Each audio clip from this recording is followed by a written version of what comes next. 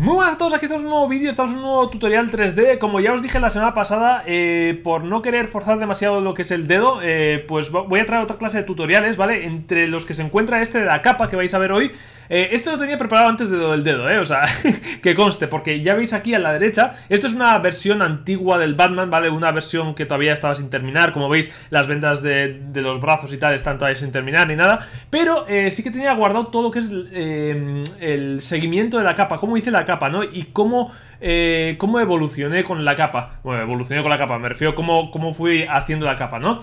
Entonces, como eh, no quería usar el dedo, pues como tenía este archivo guardado todas las capas hechas, pues os voy a comentar cómo lo hice, ¿vale? De hecho, esta vez he hecho la capa de otra forma distinta, he, usado otro, otro método de trabajo y de hecho, en la nueva capa que estoy haciendo, que ya veréis, eh, la nueva capa, no la he hecho de esta forma. Por eso os digo, cada vez que hagáis un personaje nuevo, intentar tratar de buscar una nueva forma de hacer las cosas, simplemente para ver si os gustan o no os gustan, ¿no? Si veis que, que os convence más, lo podéis meter dentro del workflow y si veis que os convence menos, pues no, ¿no? En este caso, esta manera me gustó bastante, me gustó bastante, sobre todo en las capas que son muy exageradas, muy... Eh, que, que tienen mucha ondulación o que son muy onduladas. Entonces, eh, sí que, pues bueno, fue una manera que me gustó bastante y simplemente ahora estoy probando otras maneras por ver si hay alguna que me gusta más o me gusta menos, ¿no? Entonces, eh, siempre tenéis que ir como eh, variando el workflow para que veáis si es mejor o peor, ¿no?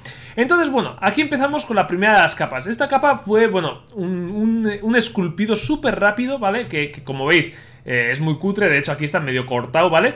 Eh, simplemente para ver cómo, cómo quedaba, cómo podría quedar, ¿no? Esa, esa, capa ondulada en la parte izquierda del Batman, simplemente para ver si quedaba bien o quedaba mal. Entonces eh, dije, vale, me, convence más o menos, ¿no? La idea, eso de que esté, que esté agarrando aquí la, la capa. Entonces, ahora empecé con el método nuevo y Empezamos con un plano impresionante, ¿eh? Un poligonaco ahí impresionante. Supongo que nadie sabrá hacer esto todavía. pues así empecé la nueva capa. Dije, no voy a esculpir la capa, sino que voy a crear eh, eh, de manera poligonal, ¿vale? Modelando la capa con el Z-Modeler. Eh, también decir que al final, al final del todo, empecé a cambiar tanto la capa que al final acabé esculpiendo. Pero la idea era empezar y terminar de esta manera, ¿no? Entonces, como vais a ver, Aquí empecé a meterle varias líneas. Aquí meto los insert edge loop, o sea, los, las líneas, los loops, y empecé a mover los puntos. Como veis, eh, están movidos súper exagerados porque tenías que esquematizar demasiado lo que es la capa, ¿no? Cómo, cómo es la capa. Entonces, aquí arriba eh, hace una ondulación grande y aquí por aquí termina la capa. Ahora seguimos metiendo loops, ¿vale? Y la siguiente sería esta de aquí, que metemos un loop aquí para lo que es el cuello, la parte del cuello, como veis todavía eh, pues no hay demasiados polígonos, pero ya empieza a tener cierta forma la capa, por lo menos en su estructura más básica, ¿no?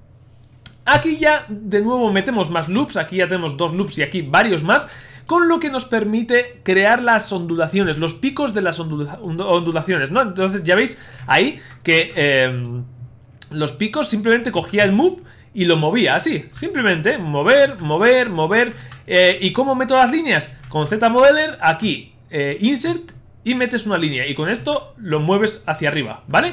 Era lo único que, estaba haciendo eh, entonces. seguimos un poco más y como veis, sigo metiendo más y más líneas, ¿ok? Como veis, eh, sigo dando un poco de, de, forma a esas ondulaciones y ahora quiero que sean un poquito más redondas, ¿vale? Entonces, como veis, aquí se están acumulando muchísimos polígonos, no me importa ahora mismo, simplemente quiero buscar la forma, luego ya arreglaré estas cosas, pero como veis, poco a poco iba metiendo esas formas. Y aquí también metí la forma esta de que va a agarrar con el brazo, ¿vale? Aquí una ondulación negativa. Y seguimos un poquito, y como veis, Seguimos metiendo formas, ¿vale? No, no hay mucho más. Insert Edge Loop y mover puntitos. No hay mucho más, ¿vale? Eso sí, hacerlo con pocos polígonos, porque si tenéis muchos polígonos, vais a tener que mover muchos puntos. No tiene ningún sentido. Y os hago un ejemplo, ¿no? Si, por ejemplo, tenemos aquí varios eh, de estos... Un momentito. Varios de estos eh, inserts... Claro, cuando tengamos que mover esto, tenemos que mover todos y tenemos que dejarlos todos como bien alineados. En cambio, si tenemos solo uno, movemos este y se movería todo lo que es la superficie. Y, después, cuando le demos a control D, como veis, queda muy redondito, ¿vale? Entonces, esa es un poco la idea, simplificar hasta tal punto que, que luego sea sencillo de, de resolver, ¿no? Seguimos un poco y como veis empieza a cambiar un poco la forma. Claro, como el Batman tenía una caída, venía del cielo y cae al suelo, eh, la capa tenía que estar hacia arriba, ¿vale? O sea, tenía que caer... Eh, o sea, si aquí está Batman, ¿vale? Pues la cola de la capa tiene que caer hacia arriba. Eh, por la gravedad y todas estas movidas, ¿no? aquí, fijaros cómo empieza a cambiar lo que hago es quitar esta parte de aquí porque claro, ya se me están acumulando muchísimos polígonos, fijaros aquí, ¿vale? Entonces, esto ya es un poco caos y le quito esa parte y sigo trabajando Fijaros en la parte inferior. Pero por ahora seguimos moviendo puntitos, ¿eh? No, no hago mucho más. Y ahora sí que lo redondeo y le doy un grosor. Fijaros el grosor que le doy, ¿vale? Eh, este grosor es de prueba, simplemente para ver eh, cómo quedaba, cómo eh, iba, iba probando un poquito para ver el resultado. Y aquí era como un primer resultado de las ondulaciones. Por ahora no me convenció demasiado, pero bueno, seguimos trabajando un poquito. Y como veis aquí ya cambio, quito el grosor de nuevo, simplemente era para una preview. Y sigo trabajando. Ahora la capa la hago todavía más la forma hacia arriba, ¿no? Como cayendo todavía más, más en picado, ¿no? Em, luego eh, sí que vi que al exagerar mucho no me gustó demasiado que, fuese demasiado vertical la capa, ¿no? Entonces luego le cambié otra vez. Pero como veis aquí... Eh, esto no sé qué, leches es. Ah, vale, esta es la, primera capa, pero repetida. No, sé por qué la, he puesto por aquí. Entonces, después, eh, llegó un punto en el que no me convenció demasiado. Y como os dije en el Batman, lo que hice es que si no me convence demasiado, empezamos de nuevo, ¿vale? Entonces, eh, empecé un poco de, de lo básico. Como veis, volvemos al punto 1 de nuevo y volvemos a probar, ¿vale? Ahí, eh, eh, seguimos creando las ondulaciones un poco distintas. Como veis, la, caída aquí de la, mano, donde agarra la mano, es un poco distinta a la de antes, que antes era una ondulación negativa. Eh, las ondulaciones son distintas también a las anteriores. Y seguimos un poquito.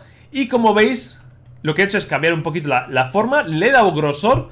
Y esta es un poquito la segunda capa que tenía yo en mente, ¿no? Como veis, eh, es bastante distinta a la primera que estaría por aquí, a ver, Fijaros, esta es la primera, esta es la eh, segunda. Aquí está, ¿vale? La segunda. Entonces, como veis, eh, probé y esta me convenció un poco más. Y se quedó más o menos así. Este sería el resultado de la capa eh, primera que hice. Como veis en el grosor, em, lo que he hecho es como un, un, pequeño... una extrusión hacia abajo para que en la impresión parezca más fino la, el grosor si no ponéis nada en la mitad, eh, parece como más grueso, aunque es igual de grueso, pero si le hacéis una raya en la mitad, parece como más fino la capa de lo que es, ¿no? Entonces, como sabéis, las impresiones tienen que ser todo bastante grueso y, pues, para disimular un poco, le puse esa, pequeña extrusión en la mitad. Y esta sería un poco la, primera capa. La, luego, le, eso sí, aquí, esta parte de aquí está esculpida. estas arruguitas pequeñas de aquí son esculpidas a mano, ¿vale? Entonces, esta forma grande lo que hice es esculpirla, eh, bueno, esculpir, modelarla. Y estas pequeñas, eh, esculpirlas. Y estas arrugas de aquí, como veis, mira, unas secundarias, mira, fijaros estas secundarias, ¿veis? Estas pequeñas también las esculpí. Eso como añadidos, ¿no? Por ejemplo, esta de aquí, ¿veis esta de aquí? Pues esa también la, esculpí, simplemente como añadido a esa capa. Pero eh, luego tampoco me convenció, ¿no?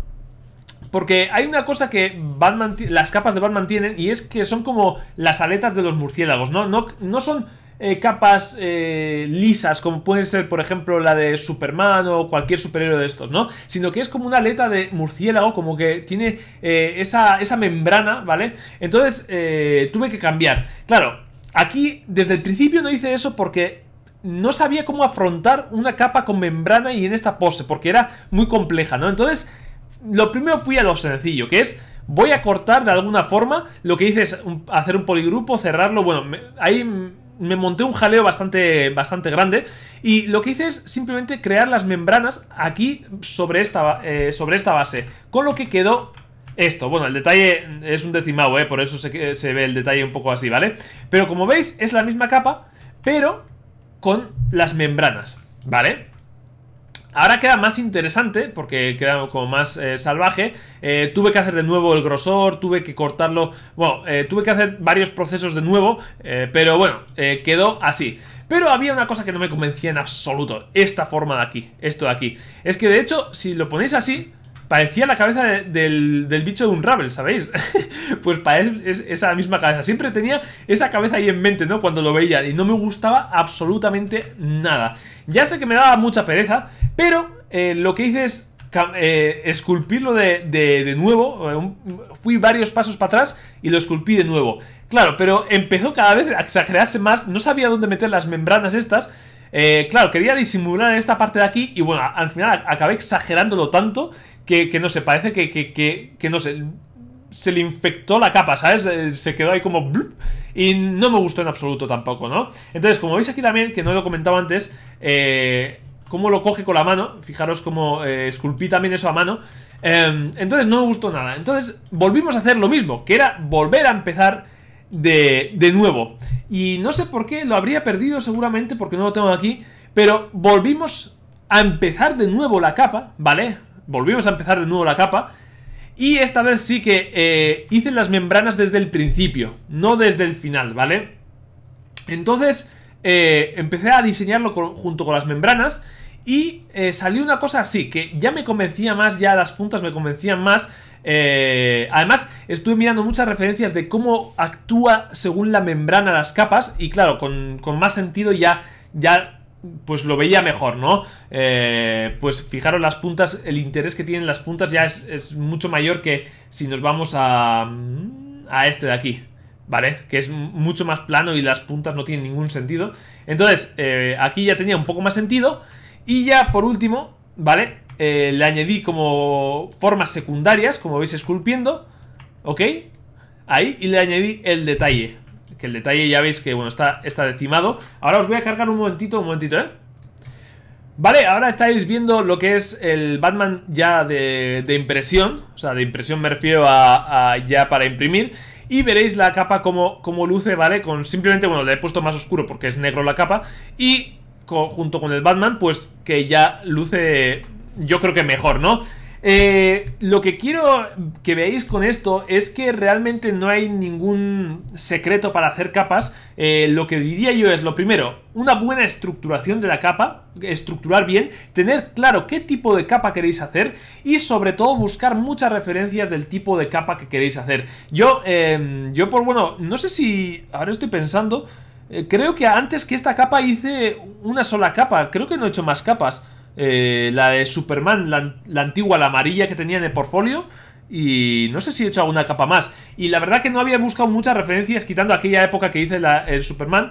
Em, no había buscado demasiadas referencias más y, y me sorprendió un poco y por eso estuve un poco indeciso, ¿no? Y sobre todo lo que tenía en la cabeza más que otra cosa eran las típicas capas de Superman, por ejemplo, que eran más lisas, que son capas de, tela eh, lisita con esto, pero no me había puesto con este tipo de, capas más, un poco más robustas, un poco más eh, Batman con membranas, tal. Entonces, eh, me pilló por sorpresa eso de querer hacer. Al principio no quería hacer membranas, ¿eh? Al principio ya os dije que, bueno, ya os he enseñado que no quería hacer membranas y que quería hacer esa capa primera que me había salido. Pero bueno, ya os dije que en el Batman quise hacer como ese ejercicio de eh, volver a hacer eh, algo, ¿sabéis? Eh, volver a, un punto anterior. Si no me gusta volver a un punto anterior y volver a hacerlo. Y creo que es la forma en la que, como os dije en el, vídeo anterior, es la forma en la que mejoré tanto en el Batman. Porque volví tantas veces atrás. di ese, ese paso que... Por cierto, ¿esto es... ¿Soy yo o...? A ver un momento. Está rosa. ¿Qué hace esto rosa? A ver, a ver, a ver. ¿Qué? ¿Pero por qué está rosa? Pues si está... Esto está blanco. A ver, un momentito. Señores, que aquí ha pasado un imprevisto. A ver. No sé por qué está rosa. A no ser que haya cogido algún material. A ver, un momentito. Vale, ha cogido otro material que no, no sé qué material era. Pero lo veía rosa y digo, ¿qué, está pasando ahí? Vale, entonces, mira, esto también está rosa. Bueno, no sé, da igual, eh, que se quede rosa. Entonces, eh, pues eso es un poquito, ¿no? Que, tenéis que intentar que cuando veáis algo mal, eh, volver a un punto anterior, volver a repetirlo, volver a repetirlo. Eso sí, tampoco no os paséis nueve meses con un trabajo porque harta muchísimo. Yo estos trabajos pues me duran entre uno y tres meses. y claro, ya hartan bastante. Tienes que tener la cabeza muy bien amueblada para poder superar los bajones de tener que repetir una y otra vez lo mismo, ¿no? Pero tenéis que buscar ese punto intermedio en el que repetís tantas veces necesitáis una cosa y tampoco os pasáis tres pueblos, ¿vale? Entonces, a veces es mejor dejar ya eh, eh, lo que estáis repitiendo por terminado y empezar otro nuevo trabajo para vuestra cabeza es mucho mejor y otras veces eh, es mejor repetir. Me diréis, ¿y, cuántas veces tengo que repetir? Yo creo que hay un punto hay un punto en el que tú sabes que ya no puedes dar más de, de ti. has repetido mil veces y dices, vale, este trabajo ya me tiene como bloqueado, por decir de alguna forma, ¿no? Y necesito empezar otro trabajo de nuevo. Entonces ese punto yo creo que es el correcto. Pero claro, hay mucha gente que ese punto lo encuentra eh, casi sin repetir ni una sola vez, ¿no? Mucha gente me manda trabajos igual y, esto no es simplemente, o sea, no quiero mencionar a nadie, a nadie ¿eh? Simplemente quiero que dar mi opinión acerca de esto, ¿no? Eh, mucha gente me manda el trabajo y es un trabajo que igual lo ha construido en una, dos, tres, cuatro, cinco horas y me dice, oye, ¿y qué tal esto? Y le digo, bueno, tienes aquí fallos, fallos, fallos, fallos y fallos. Y, me dice, bueno, vale, entonces empiezo otro trabajo. No, no, no, no, no, no, no, porque ese trabajo se nota que es un trabajo de... Eh, bueno, incluso ellos me dicen, no, que es un trabajo de que se ha hecho ese trabajo y ya está, no se ha repetido ni se ha intentado mejorar el trabajo, ¿no? Entonces, yo cuando doy las correcciones de ese trabajo, o sin dar correcciones, ¿eh? Lo que hay que intentar es aplicar las correcciones o lo que has aprendido o lo que has estado analizando sobre ese mismo modelo, porque si no, eh, si no esos fallos permanecen ahí, ¿no? Igual algunos de esos fallos no se cometerán en el siguiente modelo, pero la forma de aprender es volver a aplicar sobre ese modelo y volver a mejorarlo, ¿no? Entonces, eh, con las capas pasa lo mismo eh, y, y es lo que os quería enseñar. Ya os digo, en todos mis modelos intentaré que eh, guardar estos pasos que he guardado con la capa, intentaré guardarlos en lo máximo posible y, así si tenéis alguna duda sobre alguna parte del modelo que haga, pues así podéis preguntarme y traer un vídeo específico de esto, ¿vale? Entonces, bueno, eh, espero que os haya gustado, espero que dentro de la imposibilidad de poder manejar demasiado la tableta, aunque hoy le he dado bastante, ¿eh? hoy, hoy le he dado bastante, quería adelantar el modelo y, y bueno, hay a veces que, que da igual lo que pase, ¿no? Pero bueno, la cosa es que ya sabéis que voy para adelante con el curso. estoy dándole a tope para el curso. Y espero tenerlo cuanto antes, ¿no? Eh, una cosita más. Este lunes, este lunes vais a tener un episodio extra, ¿vale? Que va a ser una corrección de clase. De, clase, de, me refiero del curso online que tengo yo y con alumnos. Entonces, eh, este, este lunes, tanto, tanto en mi canal como en el de Centro Pixels, tendréis la corrección de uno de mis, de mis alumnos. O sea, una, una, de las correcciones que hago, ¿vale? O sea, son, eh, son 14 alumnos, con lo que eh, esa clase es una clase cerrada, que eh, todos nos conocemos con todos. O sea, no es una clase gigante ni es una clase enana, sino que es una clase cerrada bien, de número bien. Y cojo una de esas correcciones y, pues eso, pues la pongo, la pongo por aquí, ¿no? Entonces espero que os haya gustado este vídeo, espero que os haya servido. Eh, ya digo, en el anterior vídeo os comenté varios eh, tipos de vídeos que quería subir a partir de ahora, eh, blogs que son muy muy interesantes. Y, nada, si tenéis alguna idea, si, tenéis alguna pregunta sobre el Batman, sobre alguna cosa, eh, hacérmela en los comentarios como siempre me hacéis y os lo traeré tranquilamente, ¿vale? Así que nada, un like se agradece muchísimo, si podéis compartirlo también se agradece muchísimo y nos vemos al siguiente. Un saludito y adiós.